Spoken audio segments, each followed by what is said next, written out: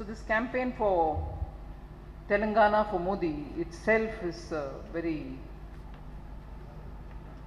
invigorating if you ask me for those of us who are in the grind of uh, the campaign.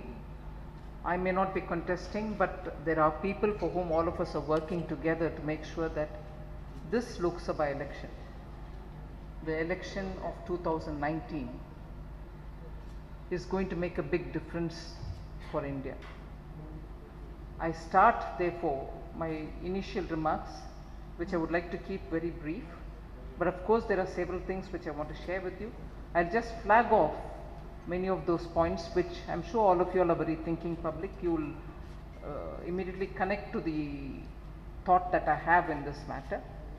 So I'll just very quickly highlight some of the issues on the basis of which you and many of those who are going to get influenced by you uh, can think as to why ek bar fir Modi Sarkar.